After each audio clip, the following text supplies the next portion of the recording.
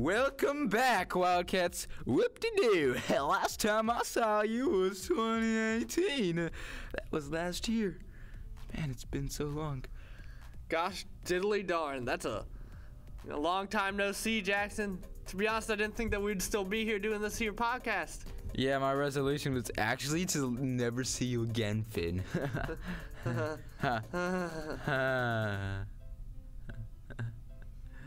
Me too. I never want to see myself again, okay? After my relationship with Big Santa Boy, I never looked the same. Every time I look at myself through my, my broken mirror, because I'm poor, I see a shattered man just like the shattered mirror that stands before me. I just, I just want once for somebody to love and give me a small fragment of the intention where I could actually live with myself and be something in this pointless world. You know what that sounds like, bud? That sounds like a personal problem, okay? now, let's be professional, okay? Um, anyways, uh, Micah's coming at us with the worst New Year revolutions. I can tell we're off to a great start, but no matter how good that segment may be, we gotta keep moving. On to Jack. He's gonna break down why your New Year's resolution is bound to crash and burn. Jackson, do you have any resolutions that have already died? Uh, well, every day, uh, New Year, uh, me and my family go out to the woods and we become a death cult for the night and worship the higher being of the universe, Tiki Taka Wicka Waka Laka Whoop Lippity Hick Hick Slack Poo. Uh, so yeah, ba- basically dead, I guess. What about you? Well, mine just pales in comparison. I I usually sit in my house alone eating toast. Burnt toast, no butter. No, no butter. No butter. okay. Next is Julia giving you a quick, right out of the toaster, hot and special taste, uh, just for you, if New Year's resolutions are actually helpful. I don't know about you, Jason, but my New Year's resol- resol- resolution was to break pencils right after I sharpened them. How'd that work out for you?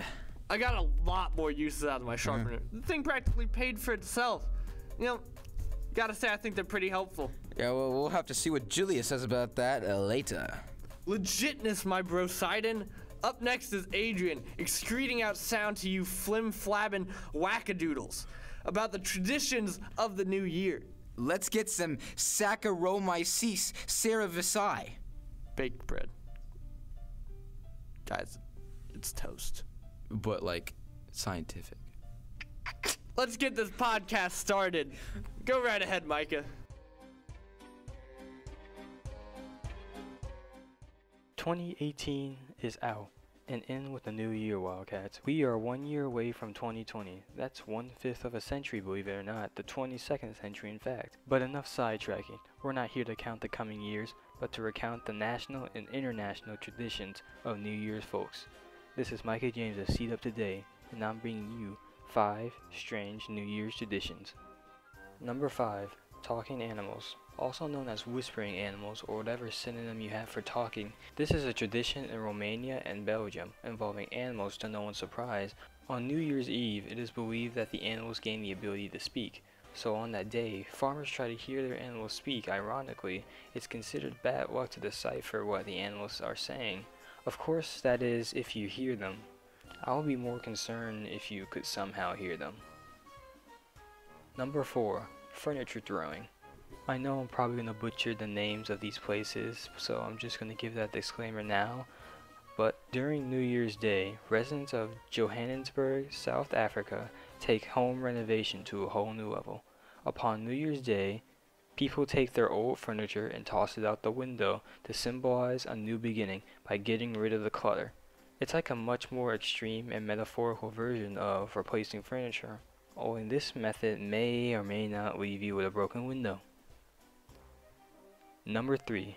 Polar Bear Plunge.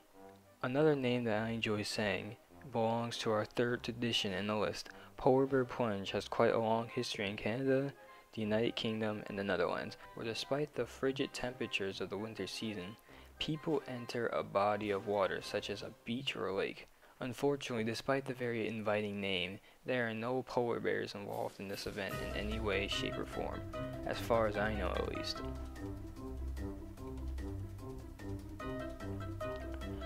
Number 2. Frozen Frolickin'.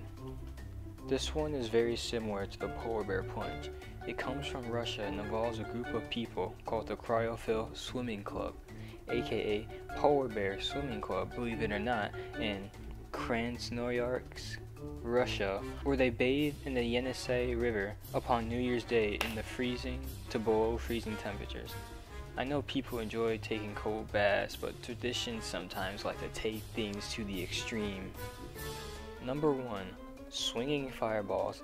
And lastly, we have Swinging Fireballs. This one just sounds mesmerizing to be able to watch.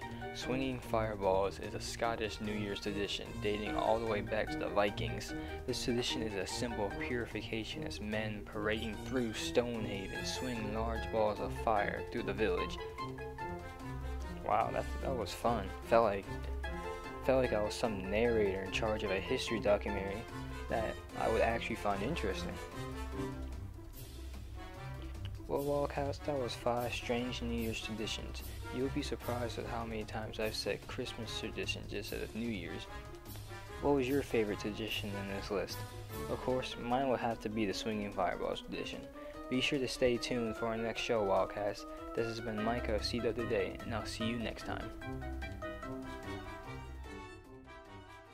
Congratulations on speaking. That is such a huge milestone. Man, brings a tear to my eyes.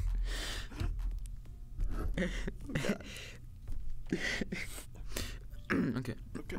Okay. Uh, next up is Jackie Boy. Uh, do your thing. Most New Year's resolutions involve trying to be healthier, or getting out of debt, or breaking weird habits. However, those resolutions are not going to last very long.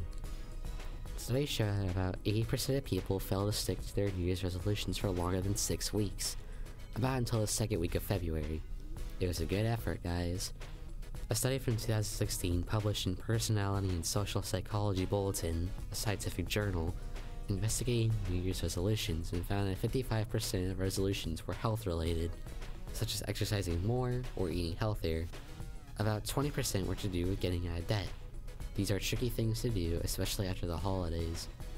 Studies also show that importance and enjoyment are significant factors in whether people stick to resolutions. The enjoyment one is the only one that actually matters, though. In other words, if the participants were getting immediate rewards for their new habits, they would be more likely to stick to them. There's also one little word that keeps us from doing our resolutions. A word often associated with guilt, shame, and an absence of decision. The word should. It's all involved in the internal battle with yourself on whether you want to stick to a resolution or should stick to it. Whether you think you should eat a salad for dinner or should work overtime tonight. Just don't overthink it. You might actually go through with it. Also try to stay away from non-committal words, saying you will or you should. It's just giving yourself an excuse for something you know you don't want to do. If none of that works, don't stress about it. There's always next year. Jack, yeah, you really hacked them awesome facts. Yeah. Oh, It was New Year's Day and Jack knew what to say. Yeah, it's gonna be okay. Really, man, it's gonna be okay. You're gonna get uh, through. I know you'll have your strong, and I believe in you. I know Karen left you, but she doesn't deserve you, Jack. Now pick your little self up, go to the gym, and get jacked. I couldn't have said it better myself. Up next is Julia. Take it away. We all have different ways of celebrating New Year's. For example, this year I fell asleep before midnight while my family screamed to country and musical songs at karaoke. But something many of us join in on is New Year's resolutions. New Year, new me, am I right? But it doesn't make sense. They almost never do anything, just because Earth passed a point at which we decided determines the new year, and because suddenly that means we can better ourselves as individuals, it doesn't make sense. It just makes you depressed. Because then you were so motivated, you got all into it, and you're like, oh yeah, we're gonna get that self improvement, my guys. But then you don't. Sad. And then when you get depressed, you gotta get a therapist. What does that mean? Money. You know what that means? You got no money. So it should be more like New Year for me. Especially if you get all extra and buy that gym equipment saying that you'll use it and lose 10 pounds, but then you gain 10 pounds because you eat your emotions. My conclusion? Don't make New Year's resolutions because they'll only make you sad. Instead, I offer you making goals that are completely unrelated to the new year and that don't have a 200 step program to go with them. That's how you cheat the system. Because then if you fail, it's just a big, oh well, we might try that again sometime. I guess, maybe, but at least I didn't, you know, disappoint myself. Anyway, that's just my thought. This is Julia Porter, and now let's get back to the show. I know my resolution was useful. How about you, Jackson? Uh, yeah, well, you know, I, I can't really say more, much more than that, or I'd, I, I'd have to keep you hostage. Oh, understandable. Yeah. Okay.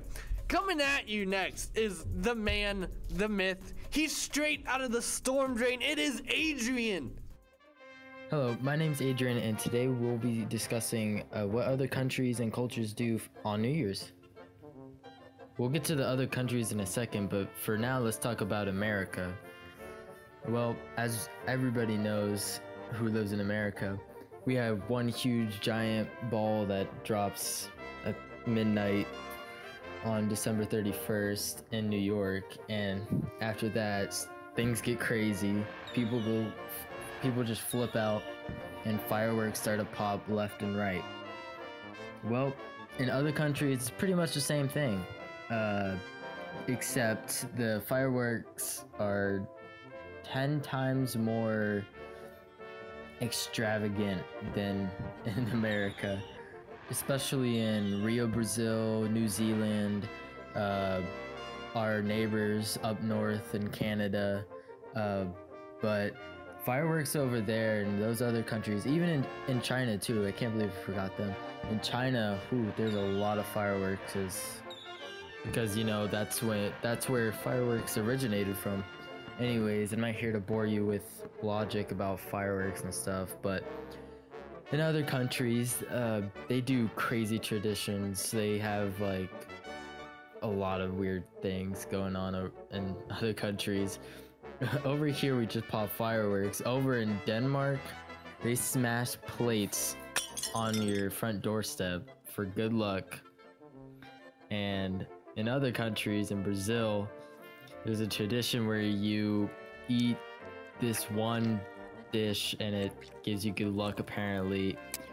Uh, we're not we're not that special. We just have a big ball that drops at the end of uh, at the start of the new the new year.